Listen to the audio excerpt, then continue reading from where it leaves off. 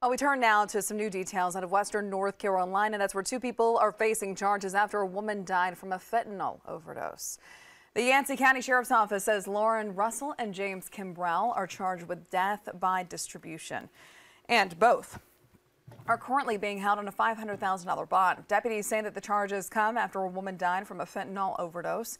The sheriff says that they are taking the investigation seriously and will, quote, leave no stone unturned and hold those responsible accountable for their actions.